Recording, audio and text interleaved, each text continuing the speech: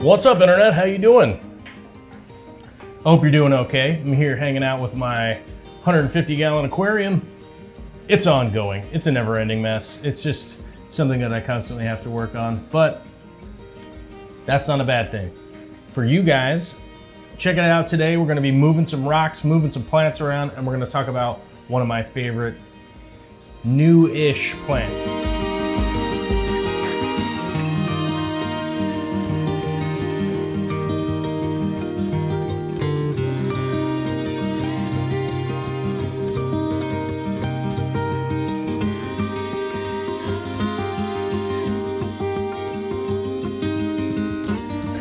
Right, so one of the things we got to do today is deal with this.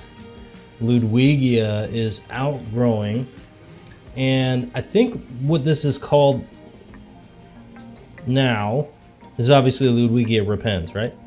But I think what this is called now is orange juice. I think we're going to call this Ludwigia repens version orange juice, right?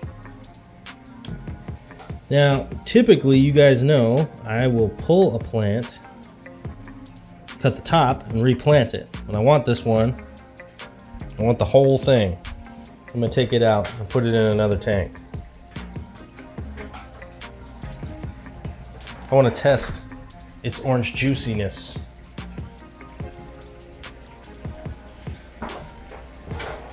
See if we actually have a, a variant or if it's just the water conditions in which that one's growing in.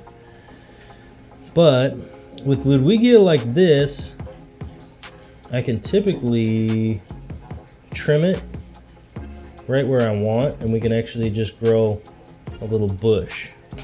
Um, it'll grow quite tall, but where I'm trimming it, it'll actually grow some new little sprouts kind of one of the cool things about Ludwigia repens. It'll actually send out side shoots.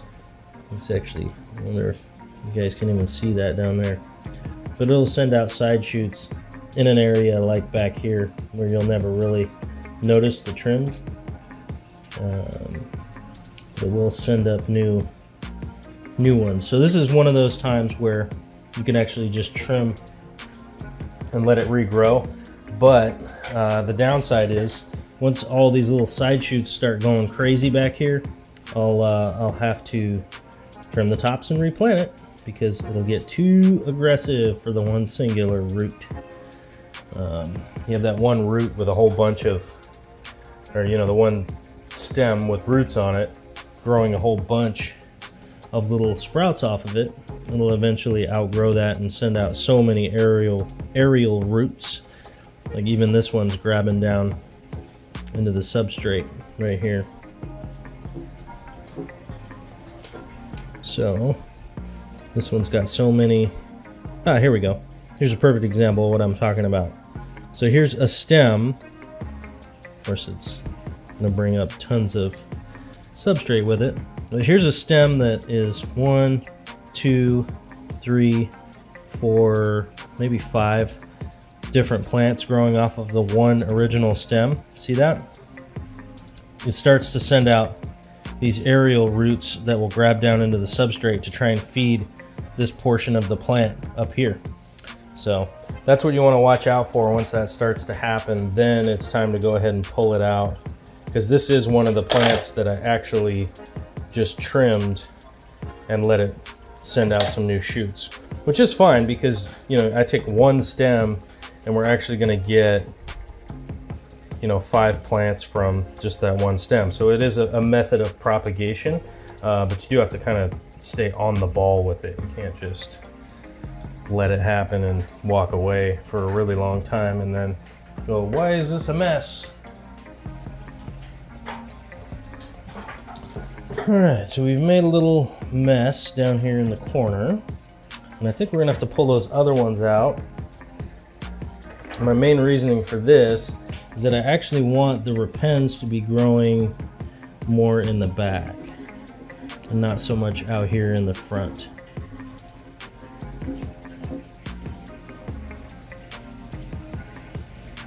Point this one back here. See how that looks. Kind of one of the things I don't see very many people do is actually pull plants out and then just stick them where you think you might want to do, might want them to be later. Not a lot of people doing that very often. I don't see. We'll pop some back here, see what it looks like, if we enjoy it. If we enjoy it, then we'll plant them. If not, no harm, no foul. But as we pull out the repens here, we'll notice that there is a Ludwigia that I really, really, really need to focus on propagating and not the repens because I got so much of this plant already. It's not a concern.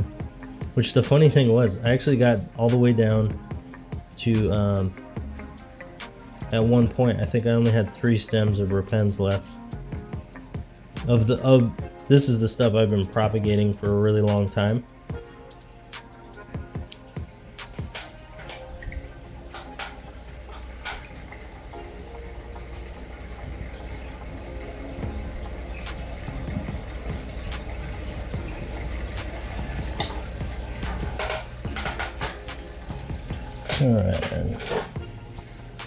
Some good headway here. But the Ludwigia that's back here that I'm really concerned about propagating is the Sphaerocarpa. Now,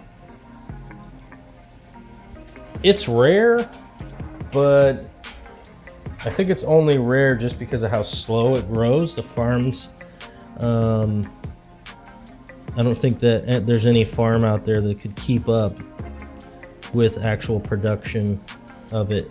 So it's just kind of rare because of how slow it grows, you know, which is more often than not the reason a plant is rare. Um, but this Perspicaria, I'm gonna have to move this for sure um, because it is gonna grow way too tall. It's just to keep growing taller. Although I am happy to say that it is doing quite well, so I'm not that perturbed.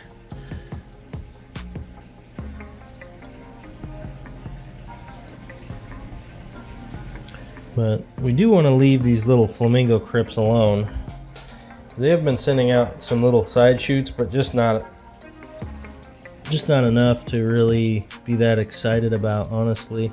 Not really something to make a video about of like, oh, flamingo crypts. You know, they're just doing well. You know, I wouldn't say that they're like, wow, oh my god, or anything, but they're just doing okay. They're just growing. Not really propagating and going crazy or anything like that. Maybe someday. Maybe someday, but the that's honestly one of the biggest things that I always have to remind people is that um, you know you do get a plant like this pink flamingo. You know you just it's really just a matter of patience. It really really really is. Um, if you aren't patient with it uh, it's just not it's not gonna work out. It's not gonna work out well for you. Patience is always key. But this is the Sphaerocarpa back here, which we've had some fair progress with. I can't, say it's going insanely well, but they are growing, and I am confident that they will continue to grow. Uh, set my Persicaria over here. Perspicaria. Now is this, did this work out to only be two? I guess there's only two over here, huh? Or did I take one and put it somewhere else? Oh yeah, it's over here. Okay. Alright. So, the Sphaerocarpa is doing well. I am happy that it's happy. Uh, but we are going to have to move it, which sucks because, you know, like I was saying, when something's doing well, you don't really want to go moving it, but it grew back in this direction back here, which is not going to work out long term very well, so I'm having to make the educated decision of, all right, I gotta move it. Um, I'm not that happy about having to move it, but it is what it is.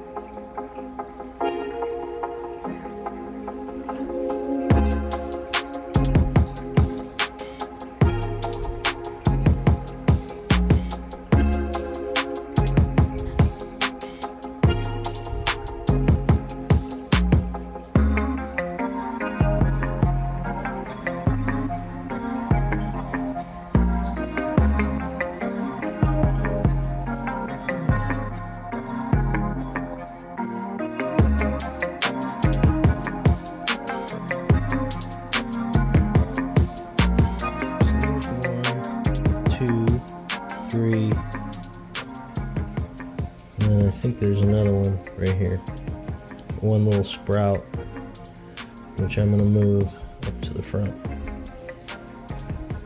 I'll move them up to the front so you can keep an eye on them. Um, there. That'll work.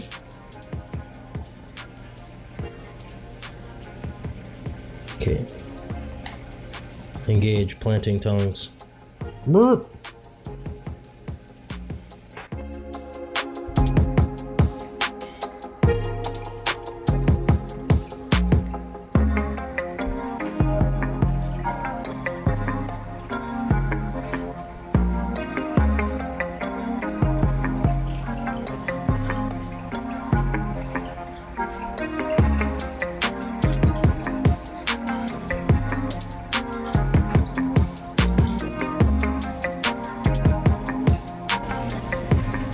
So some people thought that this was the Perspicaria Sao Paulo, but this is not. This is the Kawanagian. I think I'm saying that right. Probably not. Somebody's gonna tell me I said it wrong. Probably.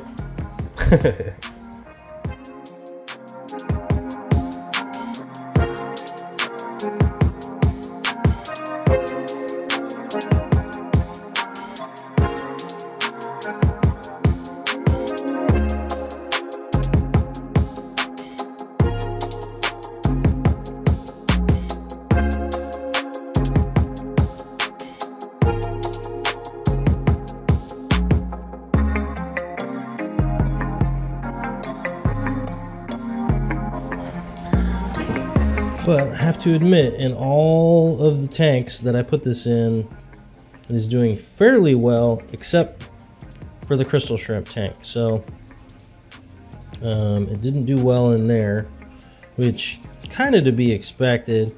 Um, one of the bigger differences in that tank is that I am not uh, supplementing the water column at all, so it is pretty much lacking any kind of hardness, that's for sure and CO2 is kind of minimal. I wouldn't say there's none, but I am injecting some CO2, nothing too nuts.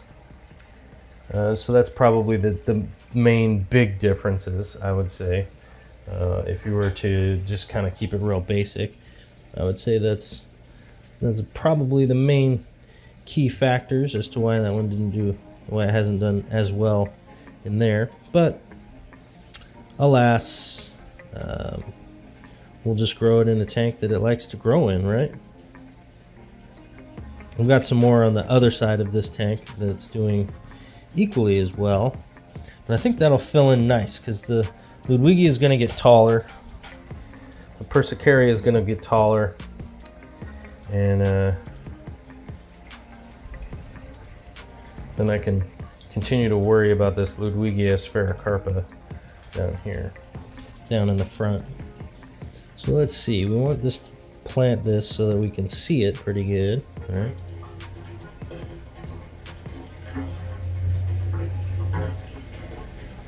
That's going pretty swell. This has a little bit of clump of hair algae there. Let's go ahead and get rid of that. Uh, I want to encourage weird little bits of algae.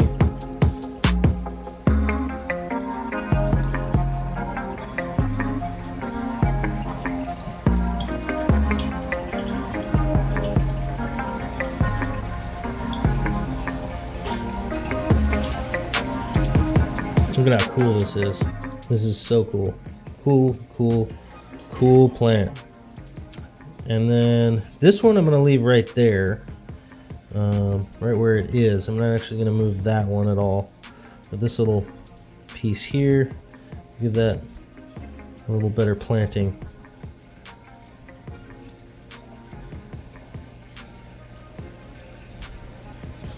Okay.